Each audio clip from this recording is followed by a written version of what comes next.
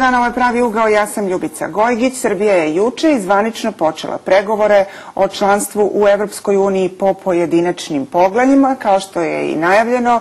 Među prvima je otvoreno poglavlje 35 koje se odnosi na Kosovo. U pregovaračkoj platformi koju je Evropska unija danas objavila na svom sajtu stoji da će od uspeha dijaloga sa Prištinom zavisiti celokupan proces pridruživanja Srbije Evropskoj uniji. Marko Đurić, direktor Kancelarije za Kosovo i Metohiju, moj današnji gost, kaže da će pregovori po poglavlju 35 biti teški, iako je tekst platforme delimično ublažen. Samo nekoliko sati posle otvaranja poglavlja 35 sa Kosova je stigla vest o odluci vlasti u Prištini da zabrane Srbima sa Kosova da koriste lične karte koje im je izdao MUP Srbije. Marko Đurić u studiju, dobar dan. Dobar dan i pozdrav svim našim gledalcima. Hvala što ste ovde da vas pozove na početku da razjasnite ovu situaciju. Kako prvo komentarišete ovaj potez vlasti u Prištini kažu da je odluku potpisala Edita Tahiri? Pa evo, ako mi dozvolite, mislim da danas zaslužujemo da za trenutak zastanemo i da na samom početku čestitam zaista građanima Srbije na otvaranju poglavlja u dijalogu sa Evropskom unijom. Snažna Srbija, Srbija koja ima podršku u međunarodnoj zajednici, može više da pomogne i svojim interesima na Kosovu i Metohiji. Što se tiče odluke Prištine da, ovaj, odnosno što se tiče najava pojedinih zvaničnika u Prištini da jednostrano izmene režim slobode kretanja, mi pažljivo pratimo tu situaciju. Ja i sata u sat dobijam od naših predstavnika na administrativnoj liniji, od predstavnika MUPA informacije o tome koliko smo mi informisani u ovom trenutku građani koji imaju lične karte izdate od MUPA Srbije bivaju upozoreni od strane predstavnika kosovske policije da su te karte nevažeće, ali ih ne zaustavljaju, ne zadržavaju na administrativnoj liniji. Uh -huh. Naravno, mi ćemo nastaviti da pratimo ovu situaciju i sigurno da nećemo dozvoliti jednostranim potezima i nametanjem da budu ugrožena prava naših građana. Dakle, u toku je ozbiljna pregovaračka aktivnost sa ciljem da ne bude ugrožavanja naših interesa. I kao što smo i do sada u sličnim situacijama reagovali, a podsjetit ću vas da je pre nekoliko meseci postojao sličan pokušaj da se našim tablicama zabrani ulazak na Kosovo i Metohiju, tada smo to uspešno sprečili. Očekujem i nadam se da ćemo to i ovaj put rešiti, ali u svakom slučaju informisat ćemo građane kako budu nove vesti stizane. Kada kažete da je ovo trenutak kada treba čestitati, na čemu im čestitate? Šta dobijaju građani koji žive, Srbi koji žive na Kosovu, šta dobijaju činjenicom da je počelo, da su počeli pregovori po poglavlju koje će, kako i sami kažete, biti vrlo, vrlo teško? Pa evo, nekako sudbina je htela da se u našem današnjem razgovoru povežu dva, dve teme.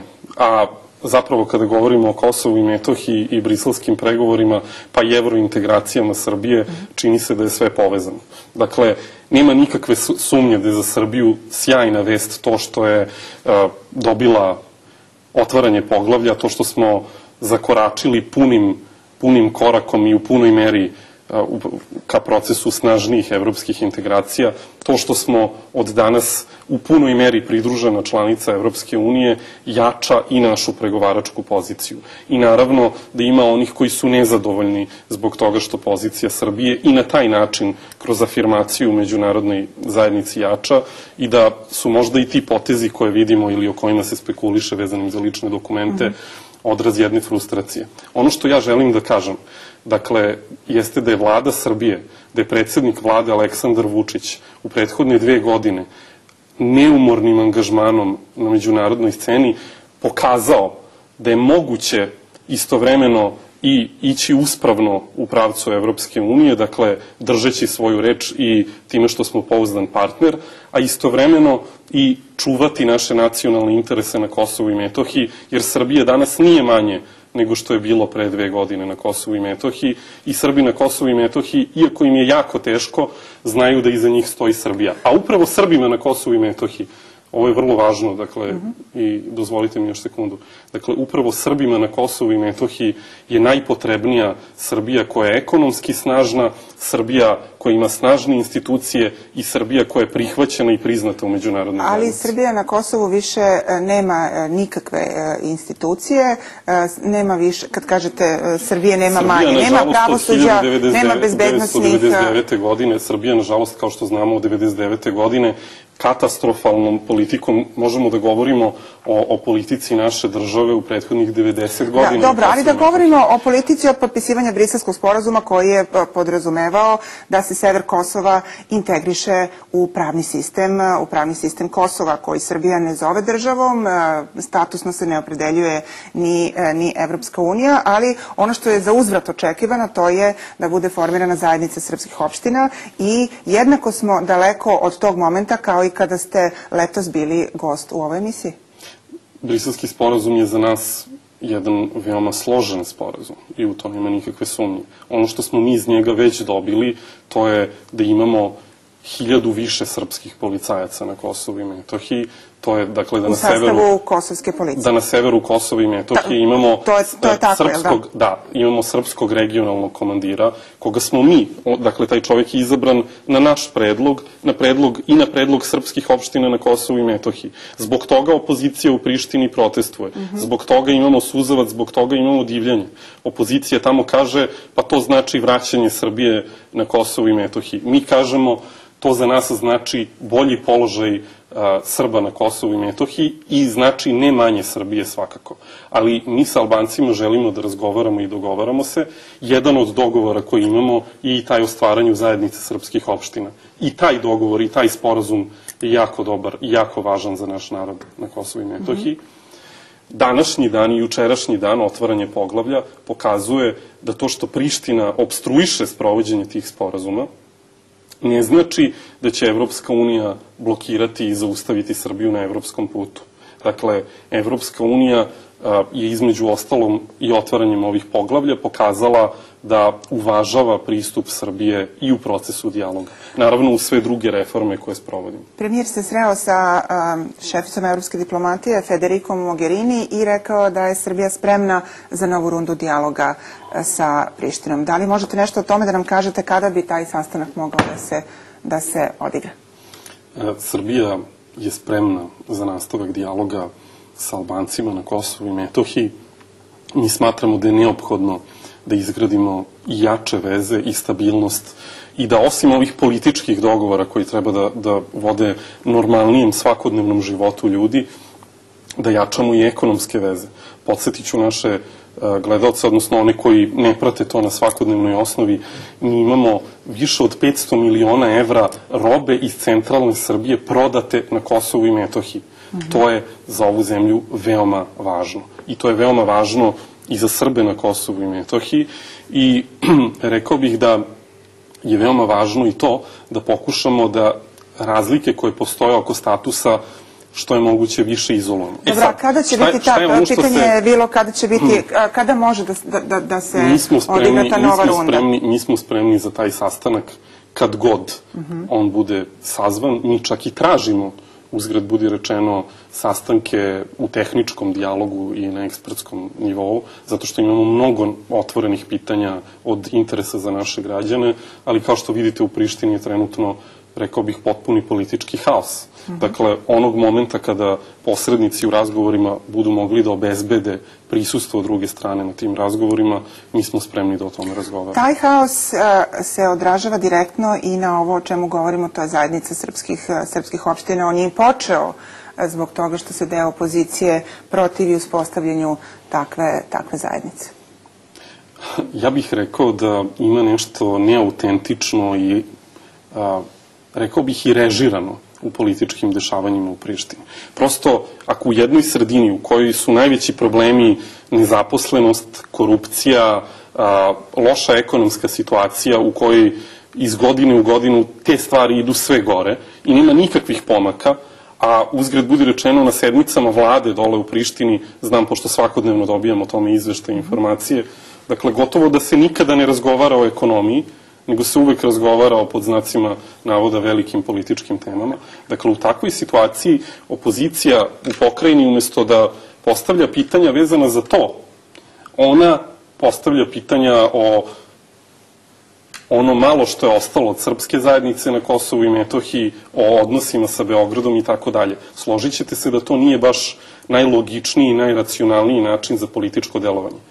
To se čak vidi i po istraživanjima javnog mnjenja ta opozicija, radikalna opozicija koja baca suzavac, ona upravo zato što se ne fokusira na prave teme narodnog nezadovoljstva i među Albancima na Kosovu i Metohiji, ona ne uspeva da privuče značajniju podršku i njihovi skupovi nisu previše posećeni. E sad, postavlja se pitanje zbog čega oni biraju te teme i da li je to spontano ili možda to neko režira A zato da bi se... Da vi mislite da, se, da neko režira i sad ja, vas pitam ko režira? Ja mislim da na Kosovu i Metohiji iskustvo nas uči da ima malo toga što je slučajno. I nekako uvek to što je, što, što je pod znacima navoda slučajno se pokušava napraviti na našu štetu. Da li Ali, obstrukcija mi... formiranja zajednice mm -hmm. srpskih opština, da li to sugerišete, ima podršku uh, međunarodnih faktora bez kojih nema politike na Kosovu? Ne, ne mislim, zato što mislim da tog sporazuma nikada ne bi ni bilo da međunarodna zajednica nije odlučna, da istraje u tome da i Srbi na Kosovu i Metohiji imaju kolektivna, i to snažna kolektivna politička prava a da li pojedini političari u pokrajini a, iz svojih ličnih kalkulacija, da li zbog, ne znam, Međunarodnog suda za ratne zločine, da li zbog, ne znam, budućih predsedničkih izbora i tako dalje, kakve su njihove računice, u to ne bih ulazio na ovaj način. Evropska unija objavila je tekst platforme o poglavlju 35, e, tekst po kome će, koji služi kao početni dokument na osnovu koga će se e, voditi e, pregovori. Vi ne skrivate da je će ti pregovori u okviru poglavlja 35 biti jako teški kažete platforma je ipak ublažena. Šta je ublaženo u, u platformi? Pa ako mi dozvolite jednu rečenicu samo o karakteru samih pregovora. Uh, mislim da je jučerašnji dan bio veliki dan naravno za Srbiju, ali je bio veliki dan i za Evropsku uniju. Znate, ne treba samo Evropska unija Srbiji. Srbija kao veoma uh, važna po svojim karakteristikama, demografskim, ekonomskim i tako dalje, u ovom delu Evrope ipak nije zanemarljiva ni za Evropsku uniju i mislim da je u pitanju jedan veoma važan obostrano koristan proces. Uh mhm. -huh. Evropska unija bez politike proširenja nisam siguran da bi imala ni, ovakvu, ni ovakvu sadašnjost i budućnost koja i tako Dobro, neizvjetna. ali, ali govoreći, slučaju... govoreći o platformi, kad kažete ona je, ona je ublažena u odnosu na to kako je, kako je ranije izgledala, možemo da, da obavestimo gledalce, inače platforma je sada javni dokument, da ona zaista ne sadrži one, one rečenice o kojima se spekulisalo, da se traži da se proces normalizacije odnosa među Beograda i Prištine, inače u platformi se pominje Kosovo, Kosovo, a ne Priština, e, završi pravno obavezujućim e, dokumentom i nema, e, nema nikakvog statusnog opredeljivanja. Šta je još ublaženo iz teksta koji, kako sami kažete, su pisale i zemlje koje su većinski podržale nezavisnost? I predsednik vlade i ceo naš tim, dakle, mi nikada nismo krili koliko su ti razgovori teški. I uvek smo izlazili a, javno iznosili probleme sa kojima se suočavamo i na taj način smo, rekao bih, štitili poziciju Srbije i na neki način činili ovu našu borbu zajedničkom borbom. I tražili smo podršku i razumevanje i članica Evropske unije i zemalja širom sveta za naše pozicije. Tamo gde je to bilo potrebno, kada je reč o, o, o UNESCO, -huh. i re, to bih pocrtao kao jednu uspešnu akciju rekao bih, cel, cele naše države, celog tima. A, kada je to bilo potrebno, uključivali smo sve države sveta. A, slično, kada je reč o ovoj pregovaračkoj platformi, u lobiranje za to da naša pozicija bude snažnija, upotrebljen je sav autoritet koji je Srbija stekla i koji je mukotrpno gradila Dobro, prethodnih nekoliko ukratko, godina. da nije bilo tog lobiranja, šta jeste, bi bilo sve u platformi? Šta ste jeste, ublažili? Ona jeste, ona jeste nešto blaža, mhm. -huh. dakle ima, ima neke formulacije koje su dvosmislenije uh, formulisane nego u prvim nacrtima, ali Nema nikakve sumnje, i to sada želim da kažem otvoreno pred svim našim gledalcima, nema nikakve sumnje da ćemo imati teške razgovore sa Prištinom i u budućnosti i nema nikakve sumnje da će one zemlje koje podržavaju nezavisnost Kosova drugačije gledati na tumačenja nekih delova primene sporazuma od nas. Ali mi znamo šta radimo, znamo za šta se borimo i znamo šta možemo u skladu sa našim interesima i šta ne možemo. I o tome kao što govorimo vrlo javno, otvoreno, o tome još, još uh, energičnije, verujte, govorimo direktno u, sa našim sagovornicima A, iz, ako je, iz ako je, ako je reč o, o tome da se govori javno i otvoreno, nije li ovaj problem a, a, sa ličnim kartama zapravo nešto što više i nije problem, jer a, po a, sporazumu, po poglavlju 35, kada ono bude završeno, neće biti ličnih karata MUPA Srbije za Srbe koji žive na Kosovu? Ne, zato što taj potez sa ličnim kartama i sad ne volim da pričam o hipotetičkim stvarima, ako bi Priština, ako Priština recimo ne bi povukla tu odluku kao što je povukla uh -huh. onu za tablice, opet kada smo mi izvršili ogroman pritisak, ali hipotetički kada ne bi povukla, a, to ne bi bilo na osnovu bilo kog sporazuma. Dakle, oni se sada ne ponašaju po bilo kom sporazumu. Oni su prosto bez najave jednostrano odlučili da u, u eri, u vremenu u kome mi želimo da ljudi što lakše cirkulišu preko administrativne linije, oni su odlučili da pokušaju to da otežaju. I nemaju za to nikakvo pravno, političko ni zakonsko utemeljenje. I pozivati se u svemu na briselski sporazum, tovariti, kažete magičnu reč briselski sporazum i onda uradite kakvu god glupost hoćete.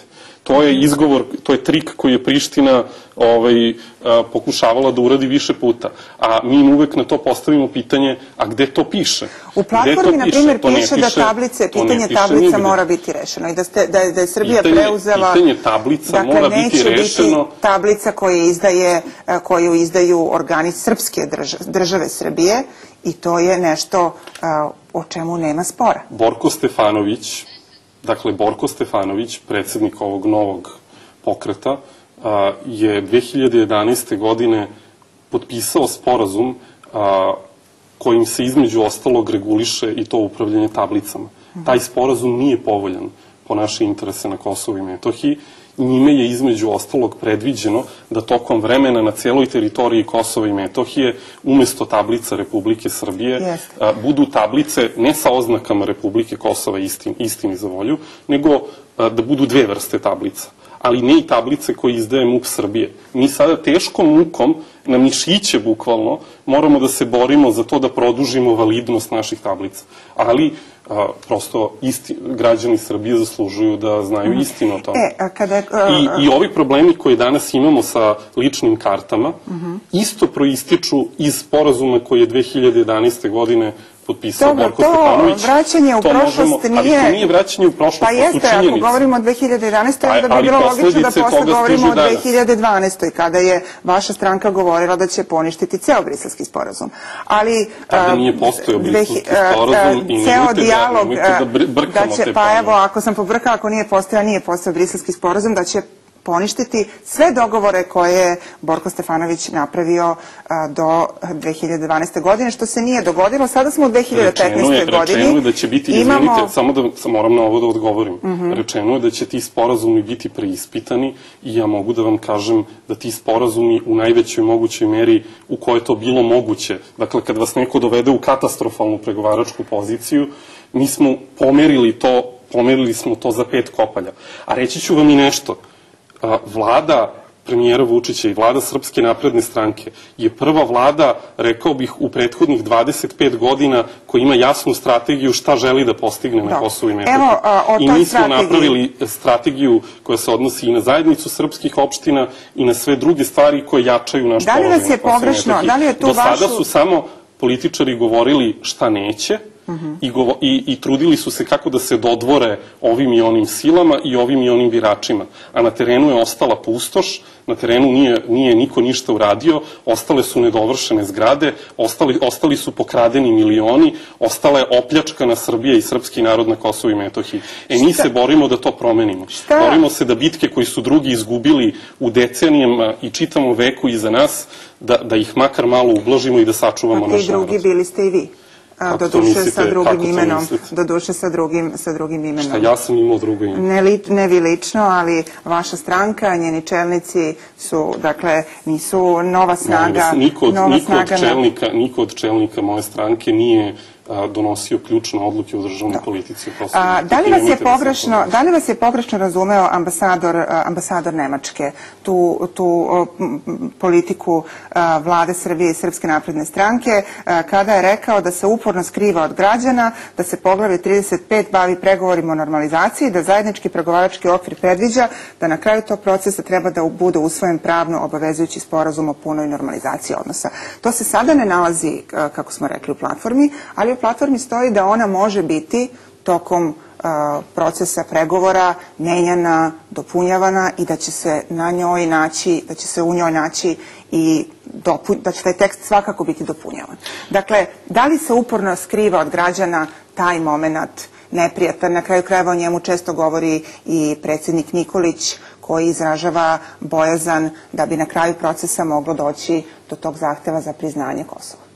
Ja se iskreno nadam da svi u međunarodnoj zajednici imaju potpuno iskren odnos prema Srbiji i uh, da nam otvoreno govore o tome kakvi su njihovi, kakvo je njihovo viđenje razvoja događaja na srednji i dugi rok. Ono što mo, za šta mogu da garantujem uh, jeste da se mi uporno borimo za to da popravimo naš položaj u međunarodnoj zajednici sa jedne strane i sa druge strane ono za šta mogu da odgovaram i za šta mogu da garantujem to je da apsolutno sve o čemu mi razgovaramo i svaki detalj o kome se dogovaramo biva javan i biva, biva potpuno dostupan i transparentan. Idite na sajt Kancelarije za Kosovo i Metohiju, naći ćete svaki dokument o kome smo mi pregovarali. I za razliku od perioda kada su tu te razgovore vodili i Borko Stefanović i neki pre njega, nakon kojih sam ja zatekao odsustvo bilo kog skoro dokumenta o kome su oni razgovarali, jednog dana kada neko drugi bude radio ovaj posao, kada god da to bude, ostaće, verujte, transkript svakog razgovora koji je vođen i svaki dokument o svakom pitanju o kome je razgovarano. A razgovara se u više od 50 oblasti zadnje tri godine. E, evo neke od tih oblasti na koje skreće pažnju i platforma. Platforma je praktično u ovom trenutku od, odslikava tok vašeg, vašeg dijaloga na tehničkom i premijerskom nivou a, u Briselu. A, kako će biti rešeno pitanje, a platforma to izričito zahteva, pitanje gazivoda na Kosovu? Vi znate koja je naša pozicija. I predsednik vlade je čvrsto stao iza toga da vitalno pitanje od vitalnog interesa za naš narod na Kosovu i Metohiji, pitanje hidrosistema gazivode, čije većina uzgred budi rečeno kada je reč o, o, o hidropotencijalima na strani centralne Srbije, iako je površinski veći deo na strani Kosova i Metohije, dakle da mi to tretiramo u celini kao naš hidrosistem. Uzgred budi rečeno, to je nešto što je izgrađeno u potpunosti ulaganjima iz centralne Srbije. I to je nešto o čemu sada postoji spor. To je nešto oko čega postoji spor, međutim, podsjetiću, naše, podsjetiću sve one koji ne, prave to iz, ne prate to iz, iz minuta u minutu, što bi se reklo. Uh -huh. U ovom trenutku ta hidrocentrala funkcioniše u našem sistemu, dakle u okviru javnog preduzeća IBAR. Tamo rade radnici koji primaju plate iz tog javnog preduzeća to, ta struja se koristi za snabdevanje električnom energijom severa Kosova i Metohije, gde uzgred budi rečeno postoji već decenijski haos u, u oblasti energetike a, i ostaje nada da ćemo imati a, dovoljno sluha kod sagovornika iz Prištine da pokušamo to da rešimo, jer mi želimo da se i to pitanje reši.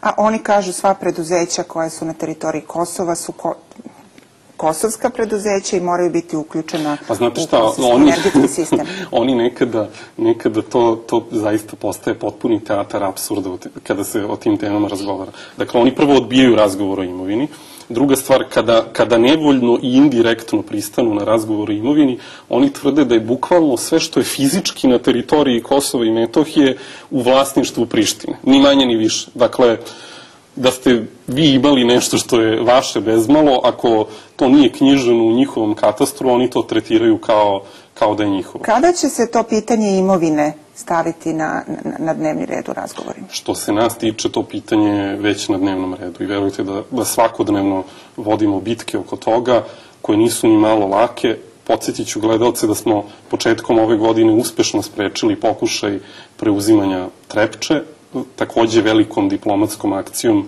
u kojoj je učestvovao tada i predsednik vlade, ali i ministri i ceo tim i a, da smo se bavili u toku ove godine brojnim teškim pitanjima tog tipa. Od raznih zemljoradničkih zadruga do a, pitanja Brezovice, do pitanja a, desetina i stotina dokle se društvenih došlo. Dokle se došlo u normalizaciji uh, u uspostavljanju prvih kontakata daleko od normalizacije između kosovskog energetskog sistema i EMS-a?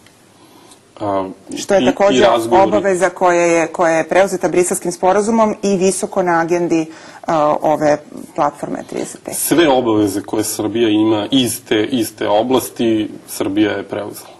Srbija ispunila i rekao bih da je taj sporazum a, bio posebno težak. Dakle, to je sporazum koji su u jesen 2013.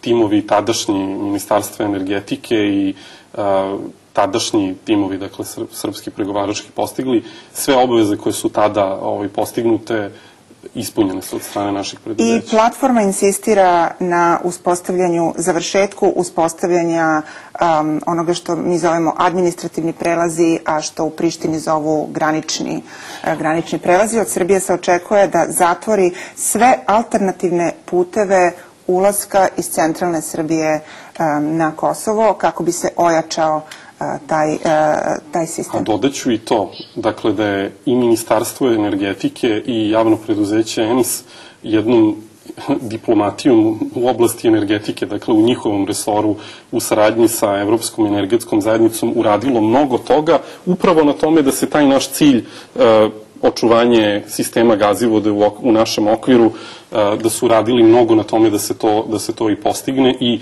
rezultati vidite između ostalog niko nije ugrozio u 2015. godini tu Da, našu a pitala sam vas za integrisane granice, e, da- za, za granične prelaze, koliko će oni više početi da liče na a, prelaze između dve države? Kada se završi ovaj proces uspostavljanja, kako se kaže, um, završetak uspostavljanja integrisanih prelaza. Pa za svakog Srbina, gde god da živeo, verovatno je nelagodno kada vidi taj administrativni punkt. I tu potpuno, potpuno sam istog osjećanja. I ti punktovi su, nažalost, u ovoj ili onoj formi tamo još od 99. odnosno 2001. godine i kosovska policija je tamo, nažalost, već 15 godina.